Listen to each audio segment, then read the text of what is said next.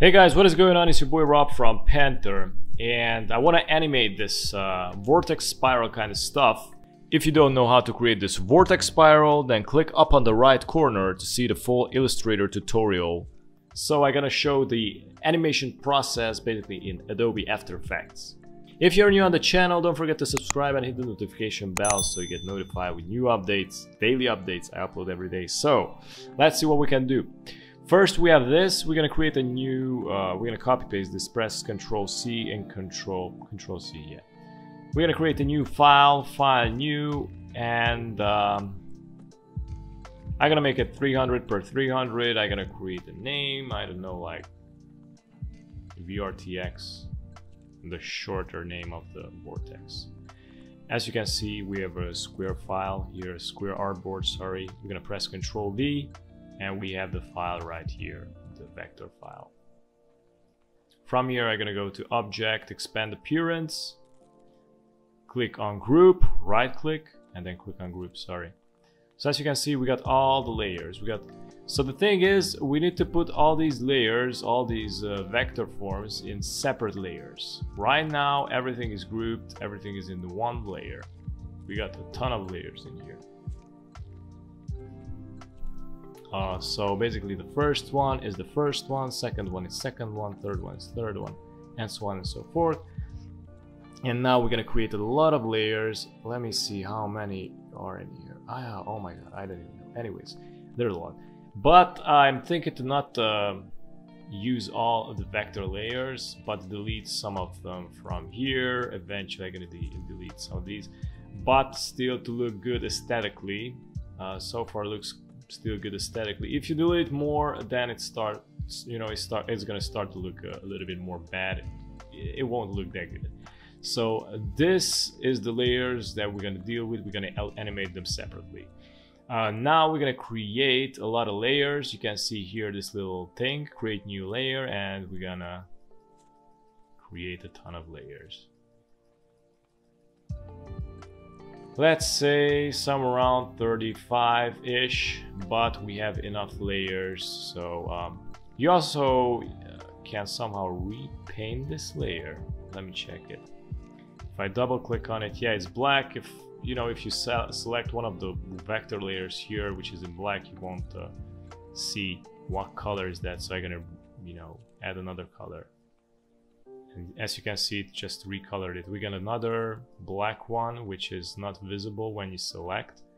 As you can see, um, oh, okay, we don't have anything in, in the layer, so we won't show it, but uh, the main idea is you need to add some uh, new color and, you know, fill all the layers in. So uh, the, the, you know, the what is it, the number of the layers and the arrangement of the layers need to be correct. That's also super important. So right now we got the first layer. This is the first, the biggest. We want to put it, for example, into the second one, in layer two. So as you can see, it's in the same, I mean the layer two. We're going to check this. This is the second one. We're going to put it in the third one. So this is a little bit more time consuming until you find the right, uh, I mean, until you make it but uh, hey this is what uh, I mean animation anyways takes a lot of time so bear with me. We're gonna speed up this process arrange everything make uh, sure everything looks good and uh, we're gonna export after that. So let's roll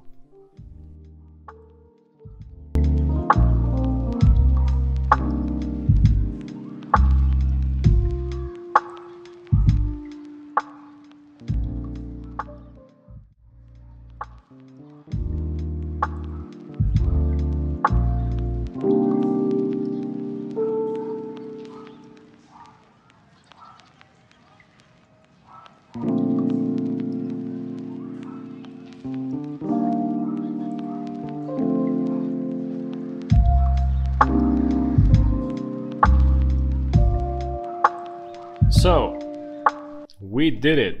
Uh, as you can see, I was like really cautious as, as I was doing it because uh, before this I messed it up like with the layers and didn't didn't came out how I wanted. So uh, eventually, when you when I was like animating and you know everything was like animating separately and weird in a weird way so every every each of the line was moving in the wrong direction so uh, as you can see we still got layers which uh, which are like empty. We're gonna delete those select and delete. And the number starts from 2 ends at 33 so we got like 32 layers and these are empty. I'm gonna delete these and these are the layers. If I select them all you can see it's a, a, rainbow color going on. There's like a lot of colorful layers and now from here we're gonna export it export somewhere you like. I'm gonna go to file and go to save as basically. Desktop is good so export it in AI and then save. Click OK. Okay, we're in Adobe After Effects and we're gonna create a new composition here. We're gonna go to composition, new composition or control plus N. I'm gonna do it uh, 1920 per 1920 width and height. Uh, the background gonna be white. I'm gonna rename the composition as VRTX and click OK.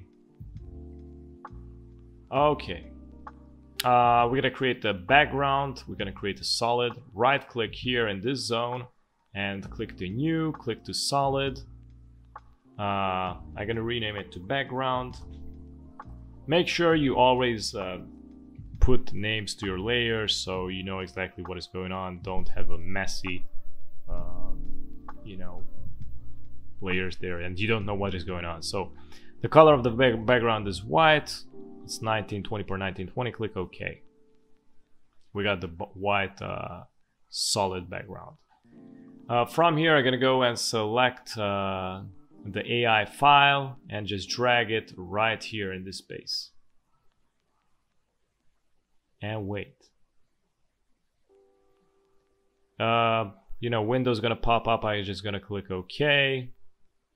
As you can see here, here's a folder with the layers and uh, you know it exported separately i mean it imported separately you know uh, the layers are, are not arranged uh, they're arranged weirdly but we're gonna just drag drag it in here above uh, the background of course and we have it from here you're gonna press and hold shift and uh, of course click on the image scale it up and let it go.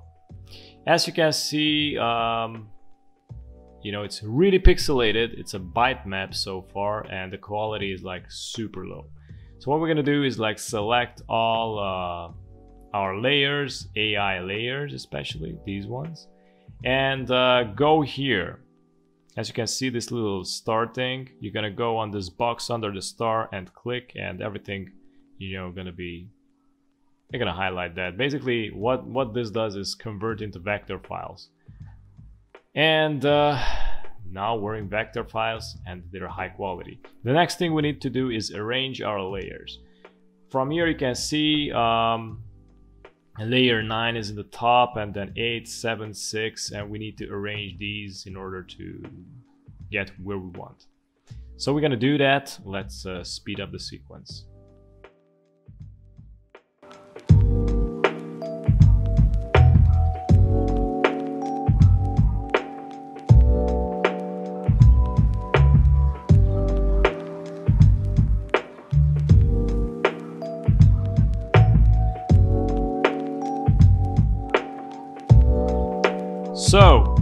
We arrange all the layers from uh, 2 to 33. It's very important to arrange the layers so you know what's going on, so you know that you need to animate the bottom one, the 33, and uh, you know slowly just go out to number 2. And the number 2 going to be animated lastly, so this is why it's important. So let's select all of the layers um, and press R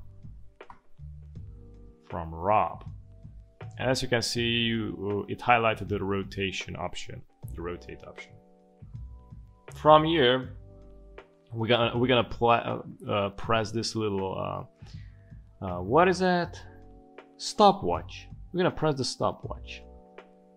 uh, everywhere just press the stopwatch everywhere starts to animate we're gonna drag this handle here at 12 something around here and uh, we're gonna go here from one of the, one of these and click on it. And add, type in 180 degrees.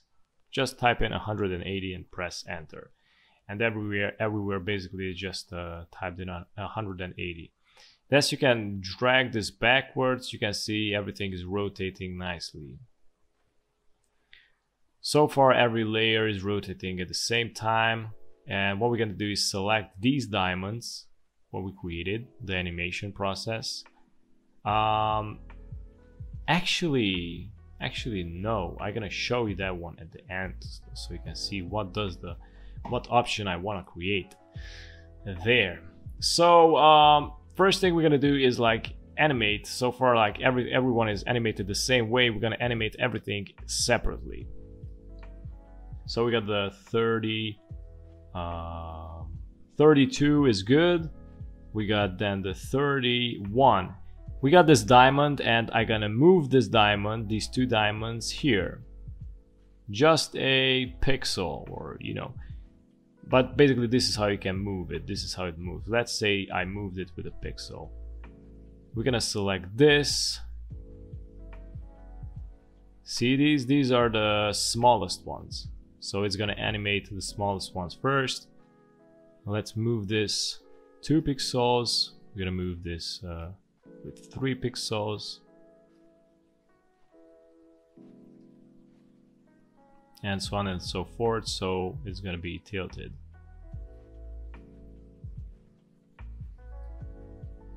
let's speed the process up because uh, this take up, takes up time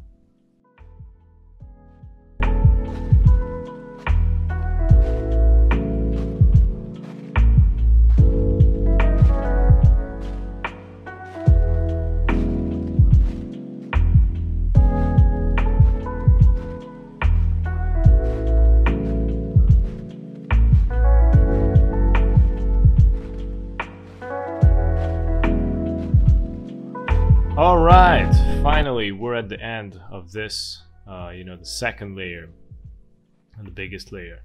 So let's uh, let's just uh, try this out to see how it works. You're gonna I'm gonna pull this, and you can see uh, the smaller ones, the smallest ones are rotating, and slowly it's getting out, rotating the biggest ones, bigger ones than the biggest. And this is how it goes. looks so weird in the center, like where the small, smaller ones are. I'm curious how it's gonna look uh, when it's like exported, because right now it looks uh, random. Uh, I'm gonna hit play. I think it needs to load here. No, it works. Okay. Um, let's do it again. Nice.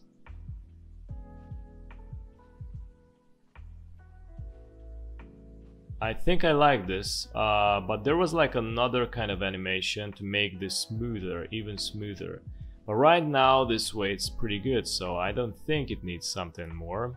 But I'm gonna show you how, you know, that tool is done. So I'm gonna select all the diamonds, these uh, these diamonds which are basically going blue right now. You need to select, go all the way down and select all of them. Like this and right click on one of the diamonds and go to keyframe assistant and go to easy ease. And they just converted the diamonds into something else. And let's hit play to see what. See that? It's a different kind of animation. It's way smoother. It's way more organic you know but yeah, I like. I think I like this one even more. Usually the easy ease always make things smoother and uh, you know they look even better that way. Okay, so we're gonna export this. Press Control M, and we're in the render queue. Let's go to best uh, best settings. Best settings are usually best settings, so you don't need to mess that up. Click OK lossless, go to QuickTime. I'm gonna export it in QuickTime. Um, yeah, click OK and output to, we're gonna, I'm gonna go to desktop and export it there. Save and then render. And it's already rendering. So basically this is how you do a animated vortex in uh, Adobe After Effects. So try it out. Thank you so much for watching. And uh, you know, if you want to see, if you also want to see uh, the vector process of this one, then uh, go and click on the right side and check out the latest tutorials of this one. So yeah, thanks for watching and have a great day. Bye bye.